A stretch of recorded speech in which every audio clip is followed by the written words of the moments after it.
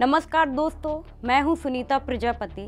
लेकर के आई हूँ अपना शो, जासूस या जर्नलिस्ट।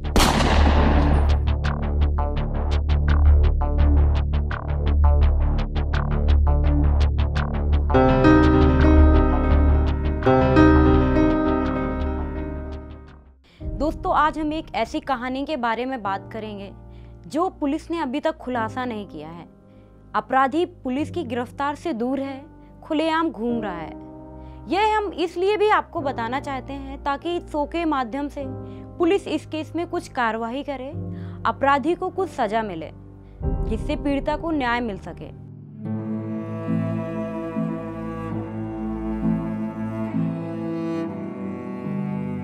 नवंबर 2018 में महोबा कोतवाली क्षेत्र के एक मोहल्ला का मामला सामने आया था, जिसमें पीड़ित परिवार ने तीन साल की बच्ची के साथ रेप होने की बात कही थी। पुलिस ने इस मामले को संज्ञानता में लिया और महोबा कोतवाली में मुकदमा पंजीकृत किया गया। साथ ही बच्ची का मेडिकल परीक्षण भी कराया गया, पर अभी भी अपराधी पुलिस की पकड़ से दूर है। भाई, हमारी ये झुग्गी बनी थी, ये वाली, जो हमने उस दिन रोड पे थी के तो रोड पे उनने बोले, पीछे हटा ले हम। तो उनने तोड़ के झुग्गी को पीछे हटाते रहे तो दिन भर किया नहीं होगा तब थोड़ी मच्छरों का टाइम था हल्का हल्का। तो बाहर लेट गए, झुग्गी के अंदर नहीं लेटे। तो दो ढाई बजे के बीच में मियाँ बीवी दोनों सो रहे थे अगल बगल दोनों बच्ची बीच में सो रही थी। अब दो इतना मालूम नहीं है उनको कि बच्ची को कब उठा ले गए, कब नहीं उठा ले गए। केवल हमने देखा तीन, साढ़े तीन बजे देखा कि बच्ची नहीं है। फिर हम उसके बाद सब लोग भागे एक एक गली से निकले ढूँढने को बच्ची को। तो सब लोग भागे और रोए चिल्लाने और कुछ लोग हमारे वहाँ चले गए, कोतवाली। कुछ लोग यहाँ परमानेंट तरफ़ चले गए और हमारे कुछ यहाँ पंजा बाबा ऐसे गली गली में सब लोग हम हो गए। बाबा पे हमको बच्ची वे रहते हैं जातरू पंजा बाबा के उस औरतों को मिली बच्ची तो उनने सबको जगाया, बोला, किसी की नहीं है वहाँ। इतने में ही उनने बिठाला बच्ची को, बिठाल के बिस्कुट विस्कुट खिलाया और उन्हीं बाबा साहब ने फ़ोन किया सो नंबर को।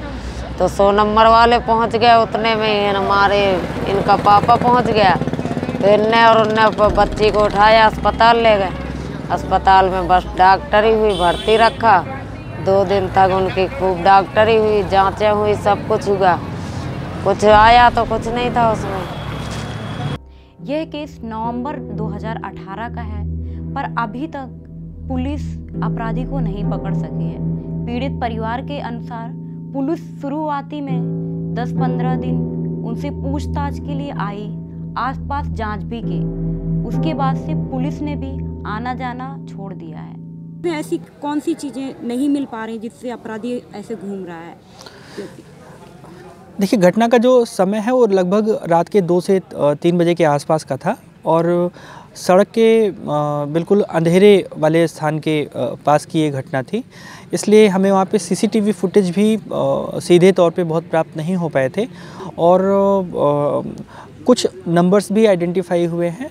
मोबाइल फ़ोन्स जो हैं वो उन पे भी अभी हम लोग पुनः काम कर रहे हैं और लगातार प्रयासरत हैं कि कहीं ना कहीं से कोई ऐसा क्लो मिले जिससे हम लोग घटना का अनावरण कर सकें। तीन महीना हो गए केस के अभी तक अपराधी नहीं पकड़ा गया। अभी तक नहीं पकड़ा गया। आपको क्या लगता है कि क्यों नहीं पुलिस पकड़ गई है? अब मालूम नहीं हम तो इतना जानते ही नहीं इसीलिए हम लोग इस बवाल में कभी पड़े ही नहीं ना हमारे साथ ऐसा हुआ है। और हम लोग क्या समझे, क्या कैसा, का होगा? अनपढ़ आदमी अंगूठा छाप, हम लोग क्या जाने कहाँ कैसा हो रहा है? पीड़ित परिवार बंजारन जाति से था, जो महोबा जिला में रहकर लोहे का काम करके अपने परिवार का जीवन यापन करता था। आज भी वह परिवार उसी झोपड़ी के नीचे रह रहा है और अपना जीवन गुजार रहा है, पर अपराधी खुलेआम घूम रहा है।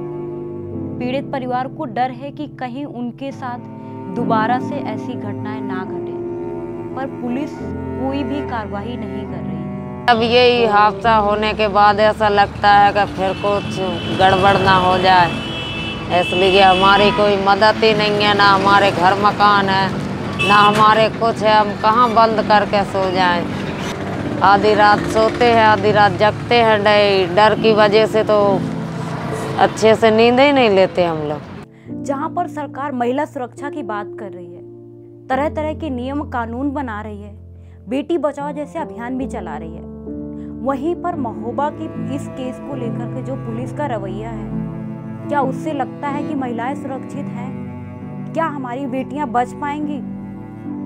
और इस परिवार को कितना इंतज़ार करना पड़ेगा न्याय के लिए?